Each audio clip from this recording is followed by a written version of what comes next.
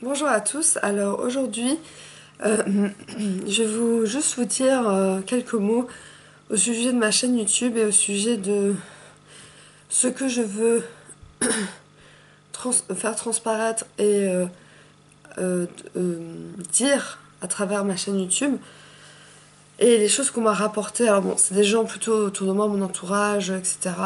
c'est pas trop mes followers, c'est plutôt les gens qui me connaissent euh, j'ai eu des échos par-ci par-là de différentes personnes qui m'ont dit que euh, je faisais comme si mon cas de bipolaire, enfin mon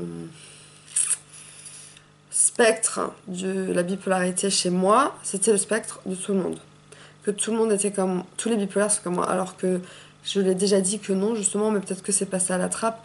Que justement, euh, il y a autant de bipolaires que de personnes bipolaires de personnalité, que de, de tout, euh, du tempérament. Et euh, en fait, la, la, maladie, comme on a dit souvent en, cours de parole, la maladie, elle se greffe sur euh, la personnalité. C'est-à-dire qu'à la base, on est une personne, avec une personnalité soit forte ou pas forte, peu importe, on est comme on est.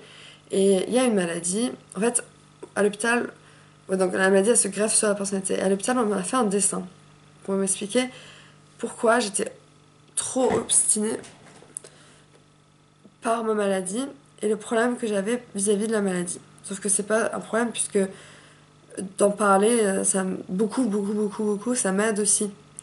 Et moi, on pense, on dit euh, encore des échos, que si j'en parle trop, c'est un cercle vicieux et je j'en sors pas et je fais que penser à ça et que parler de ça. Sauf que dans la journée, ma vidéo YouTube, elle dure 5 minutes ou 10 minutes ou 15 minutes, elle a tout cassé la mettre en ligne, elle est 10 minutes à tout casser. Ça fait quoi est presque une demi-heure euh, voilà, dans la journée. J'en parle peut-être un peu vite fait à mon, père, ma mère, peu importe. Et le reste du temps, je regarde des clips, euh, j'écris, euh, je, sors. Donc non, la bipolarité, elle n'est pas tout le temps là, dans ma tête. Enfin, si, elle est dans ma tête très souvent. Forcément, quand on est bipolaire, on n'est pas bien. Forcément, on pense à la maladie. Mais je parle de parler de la maladie non, toute la journée, je dis pas tous les commerçants que je vois, ah, je suis bipolaire. Je suis pas Enfin, je vais pas dire. Je suis pas. Euh, à ce point obsédée par la maladie. Et d'ailleurs, je ne suis pas obsédée par la maladie. Donc là où je veux en venir, le but de cette chaîne, c'est d'informer et de déstigmatiser. Donc à travers mon expérience, euh, mon vécu, je vous livre un peu ma vie, après, vous en faites ce que vous voulez, euh, vous, en déduisez ce que vous voulez et vous pouvez comparer à vous, mais pas vous dire c'est moi exactement. Mais peut-être il y a des similitudes parce que dans la bipolarité, il y a quand même des gros traits comme la, dépense d'argent excessive, euh, enfin la compulsion d'achat, euh, l'hypersexualité, il y a aussi des choses qui. Mais toutes les histoires de bipolaire dans leur vécu sont différentes. Chaque bipolaire est différent. Et une infirmière à l'hôpital psy m'a fait un dessin. Donc, il faut que je me concentre. Euh, elle m'a dit Vous, c'est. Elle m'a fait un énorme cercle bipolarité. Et un petit point au milieu, ça, c'est vous. Mais en vrai, ça devrait être.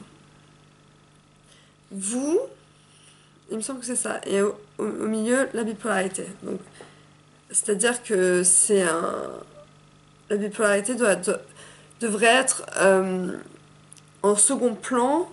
Sauf que parfois, je sais pas si c'est la maladie ou moi. C'est ça le problème. Je ne sais pas.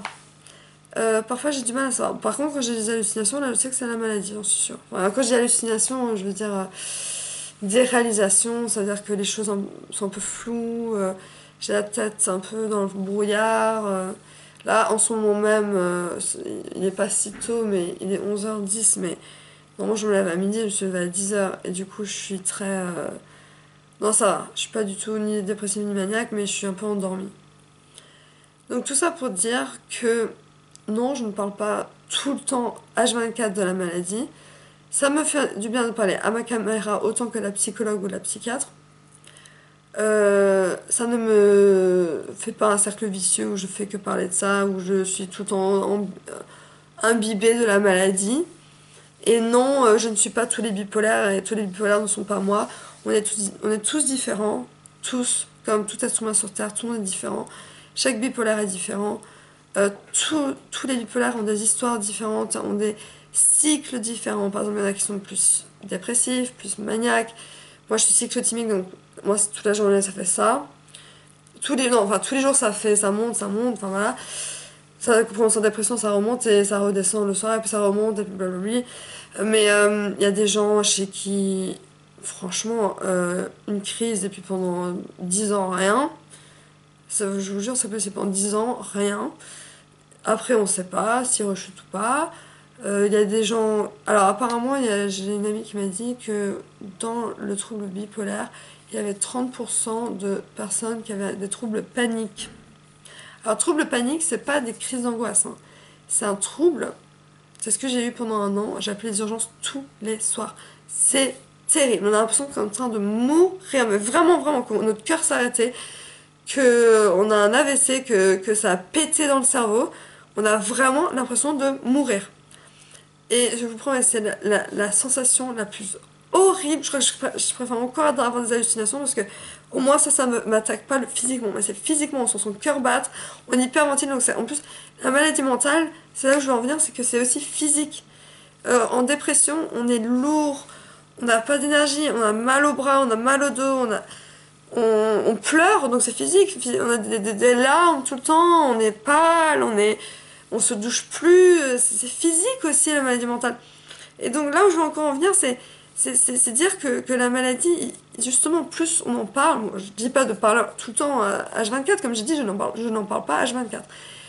D'en parler le plus possible, ça, ça, ça nous délivre un peu, enfin, je sais pas, délivre, non, oui, délivre, délivre. Euh, ça, ça, nous, ça, nous, ça nous permet de, de, de, mettre des mots sur des sentiments, sur des émotions. Et ça, c'est super important. Donc, je crois que pour résumer, je dirais que euh, tout le monde a son histoire. Euh, quand, quand ma mère, par exemple, m'a raconté son histoire, que je ne connaissais, pas en fait, parce que quand j'étais petite, elle allait pas me raconter sa life de bipolaire. Enfin, quand je dis life de bipolaire, ça veut dire euh, tous les crises maniaques et tout ça. Elle m'a raconté. Et c'est, un truc de gueudin. je vais parler comme Jones. C'est un truc de dingue. Euh, franchement, euh, chapeau maman, parce que après tout ce que tu as traversé, franchement, c'est. franchement, à chaque fois que j'entends des histoires de bipolaire, que ce soit un groupe de parole, que ce soit des amis, peu importe, moi, soit j'ai l'impression d'avoir vécu le pire, mais parfois j'entends des choses mille fois pires. Et bien sûr, on peut bien imaginer que le pire, c'est quoi? C'est le suicide. Et euh, tant qu'on n'est pas face à quelqu'un qui s'est suicidé, on ne comprend pas. On pense que c'est. Les gens, les gens disent souvent Oh, mais euh, il voulait mourir, il voulait plus vivre. C'est pas vrai. On ne veut jamais mourir. Si on est né, c'est pas pour mourir, on, est pour vivre. Donc, l'idée suicidaire, c'est une idée absurde qui vient dans le cerveau, qui est dans un cerveau dysfonctionnel un peu comme euh, quand on a un handicap. On n'est pas né pour avoir quatre bras, mais en, Inde, apparemment, il y a des. Je sais pas pourquoi en Inde d'ailleurs, mais en Inde, il y a beaucoup de bébés qui naissent avec deux bras ou deux, deux, pieds ou je sais pas quoi. Enfin, enfin quatre pieds ou je sais pas. Euh, euh, dès qu'il y a quelque chose. C'est une anomalie en fait. Le, pour moi, après, après voilà, encore une, encore une fois, là où je, ce que je veux dire, c'est que la chaîne YouTube, c'est ma perception de la bipolarité. Ça ne veut pas dire que vous voyez comme ça. Moi, je le vois comme ça. Et je pense que vraiment, l'état suicidaire, l'idée suicidaire, le fait de se suicider, c'est vraiment une sorte de. comme dans un état second, comme si on avait pris de la drogue. Et on ne veut pas mourir. On ne veut pas mourir! Même moi, quand j'ai des idées noires, je ne veux pas mourir. Mais le cerveau dysfonctionne.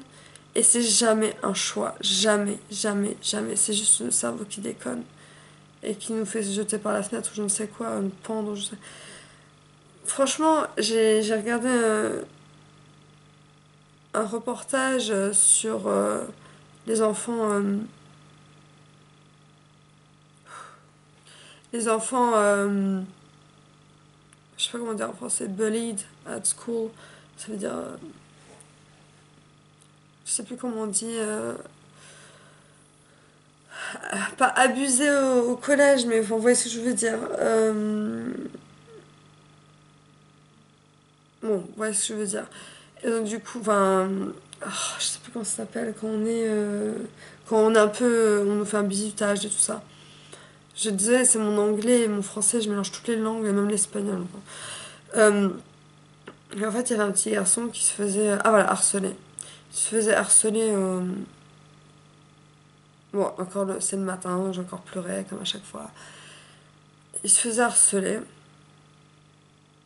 Je, sais pas pourquoi, il était peut-être trop timide. Alors, euh, les timides, moi je, sais de quoi je parle, j'étais timide quand j'étais jeune, donc euh, plus jeune. du coup, euh, je sais ce que c'est la timidité. Moi aussi, j'étais un peu harcelée, enfin vite fait, quoi, pas trop, mais un peu. Et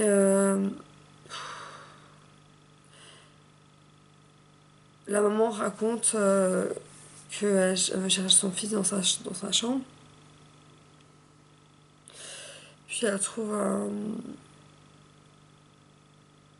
un mot sur la table. Euh, où il y a écrit euh, Maman, je t'aime. Non, enfin, pas tout de suite. D'abord, elle, se retourne et puis elle voit son enfant accroché au lit avec une corde. Puis elle se dit euh, euh, que c'est une blague, qu'elle lui, lui fait une blague, et euh, elle lui dit arrête maintenant, c'est pas drôle, ça suffit. A aucune réaction, il bouge pas. C'est hyper dur. Et là, bah, elle réalise qu'il s'était pendu, quoi, et elle voit une lettre sur la table avec écrit Je t'aime, maman.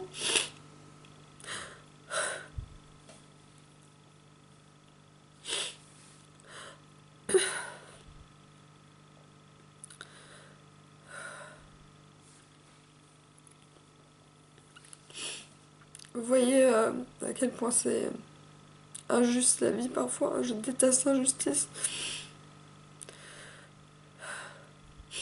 Désolée, hein, mais c'est hyper dur quoi. Comme d'habitude, c'est le matin, je pleure. À chaque fois que je fais une vidéo le matin, je pleure. C'est terrible. Mais bon, là, j'ai quand même raconté quelque chose de, fort. Donc, le suicide, euh, c'est pas un choix, c'est en fait, c'est vraiment un ras-le-bol. Euh. C'est euh, une accumulation de, choses dures, ce qu'on ressent. Les médicaments pour certains ne marchent pas tout le temps, donc euh, ils en arrivent au suicide.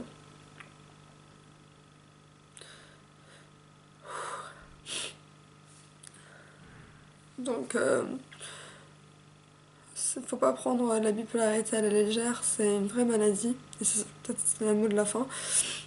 La bipolarité, c'est une vraie maladie.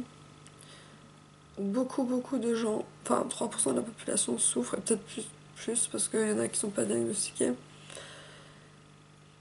Enfin, dans les 3%, il y en a 2% diagnostiqués et 1% pas diagnostiqués. Mais je sais pas comment ils ont fait les études s'ils sont pas diagnostiqués, mais bon, voilà. Euh, et même si on n'est que 3%, ben, c'est une vraie maladie, on souffre. Et euh, beaucoup, tous les jours, tous les jours. Il n'y a pas un jour où on est bien du début à la fin. À part ça. Même pas à notre mariage. Je, je, vous parie qu'à votre mariage, en tant que bipolaire, vous étiez stressé.